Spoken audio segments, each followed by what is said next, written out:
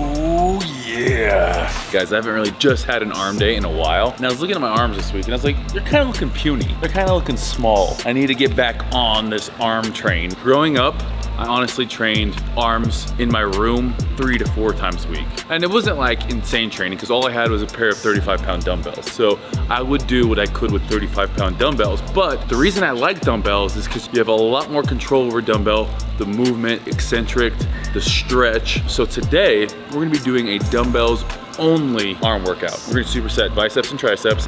And again, we're gonna focus on peak contraction, the stretch. We're also gonna be focusing on the eccentric part on, on a lift. We're gonna pick four movements for each thing. Again, all gonna be dumbbell, and each one of them is gonna be focused on one of those things. First superset, be really focused on the eccentric part, and that's the downward phase of it. So that's eccentric, concentric, you know, when you talk about eccentrics on the way down, concentrics on the way up. So time under tension is important. Obviously mechanical tension, when we're talking about building muscle, we're talking about breaking down muscle, all of these things come into play. It's my excuse not to foam roll, is to get on this and just work out the muscle here. So we're gonna be jumping into it, getting heavy on the first exercise, and then focusing on the stretch on the second exercise, both for biceps and triceps. So really gonna be a great pump because as you get a good stretch, we're forcing tons of blood into that muscle. So good mind-muscle connection as well today. We're gonna really focus in on those things and show you guys just how to build bigger biceps and triceps using dumbbells only. Let's jump into it.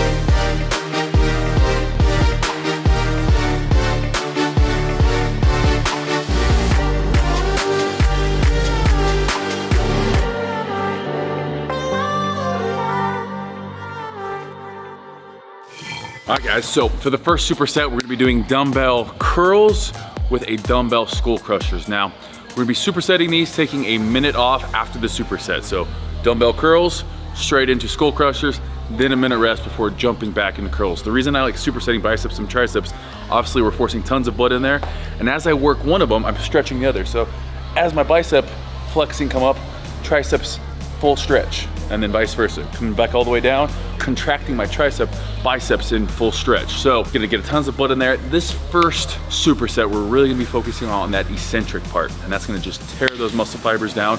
I'm really focusing on time under tension, which means we're not gonna go as high with reps because again, time under tension, we hit six reps here with a three second eccentric, that's a lot of time under tension. So usually when we do slower eccentric reps, we're gonna bring down the reps. You know, it'd be pointless to do 18 reps all slow. That's a lot of time under tension. That's enough time under tension that we really wouldn't do anything else in that workout. So we're gonna be jumping into this. Need to warm up properly, two warm up sets, and then we're jumping into our two working supersets.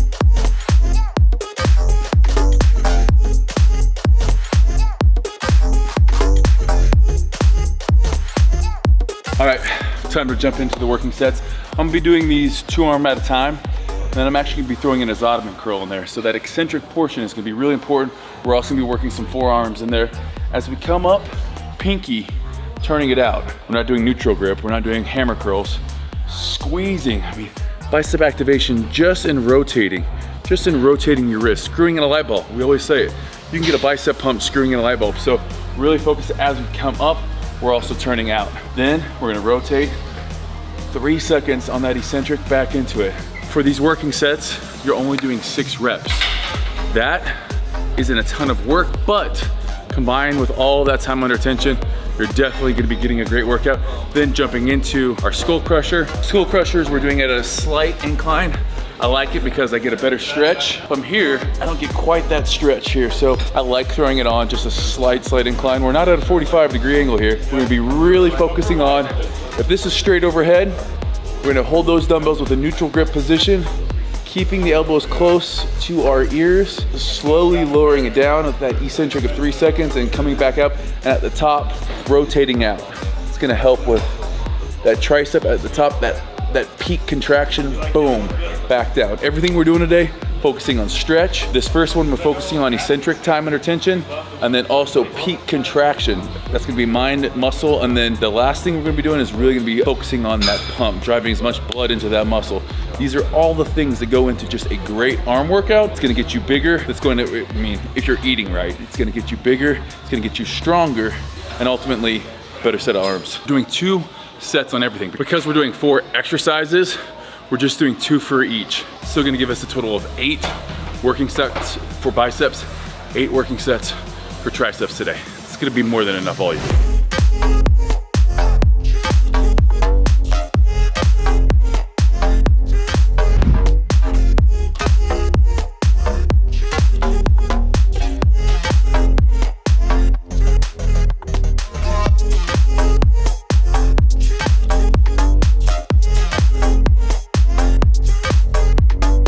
Next superset, we're gonna be doing triceps first because it's only fair.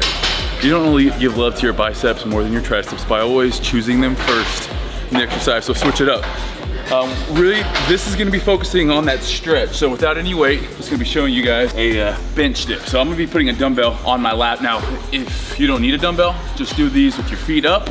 Modification then would be to feet here and then scoot it closer to make it easier. So this is gonna be the hardest variation of weight. We're gonna come down, we wanna hit 90 degrees. That's that stretch back up. Going for eight to 10 reps on this one, failing someplace in between there. So eight to 10 reps on here, eccentric's just gonna be normal. It's really just focusing on that stretch.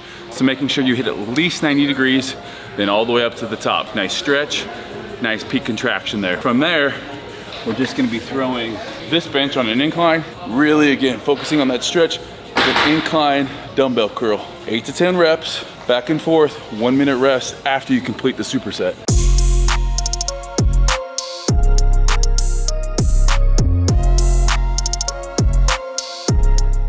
Biggest thing with this one, start from this position, all the way down, all the way up.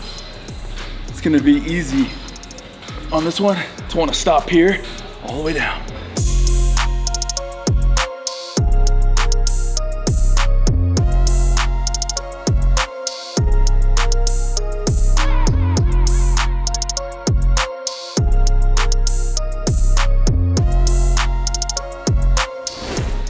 Right, next up, back to biceps.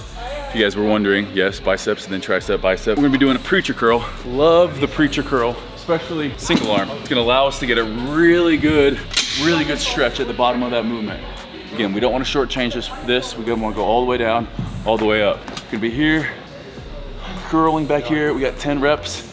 Normal tempo on this, just make sure you squeeze at the top. From there, we're supersetting it with a French press. So you can either do these with a single dumbbell. I still like doing them with two separate dumbbells because it makes sure that I'm working each arm rather than letting one take over.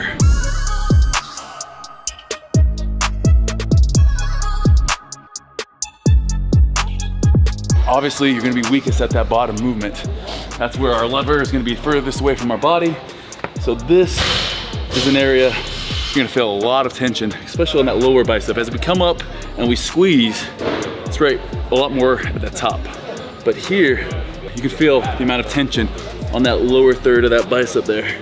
Now obviously this is gonna be working the entire bicep as we bring the weight up, but a lot of tension there at the bottom. Biggest thing here, again, working each arm individually instead of using one dumbbell. Good stretch. This one's such a great stretch at the top rotating those wrists.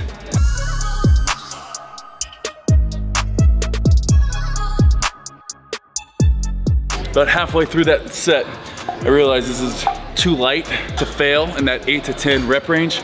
So what I do, I slow down each rep. More time under tension makes it harder. Means that I'm gonna fail at 10 rather than 12 or 13. Slow down those reps if you happen to grab too light a weight.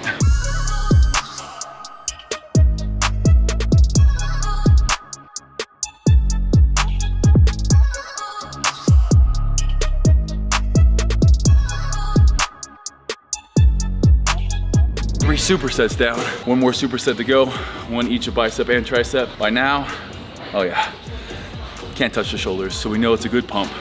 Now we're gonna make it a great pump. Ready for it? Last exercise, best exercise for bicep and tricep. Let's go.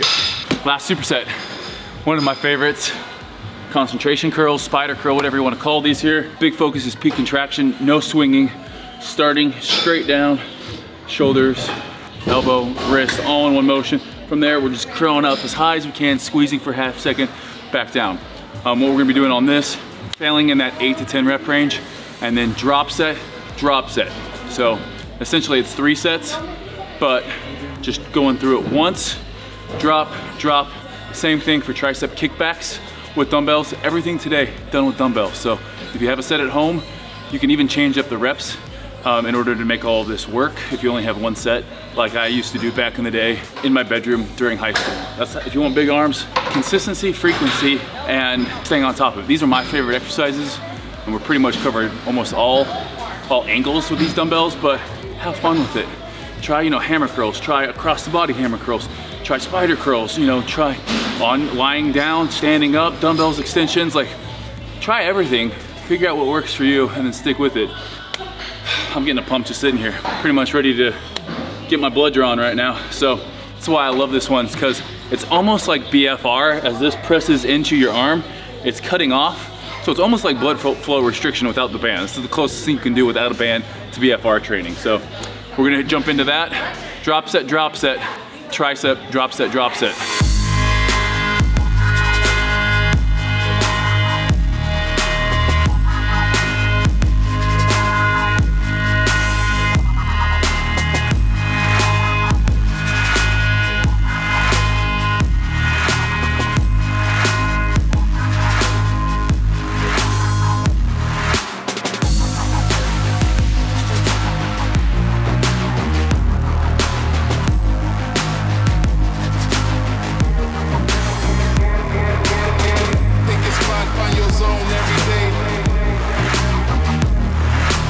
Solid arm session, especially for not getting an arm session in, solely an arm session in for a long time. So this is kind of my go-to when I need to get back into it. I need to get the pipes back up to 19 so I make sure they're bigger than Jake's. We got one more set. We're gonna film it for Instagram. If you guys don't follow me on Instagram, I dare you to right now.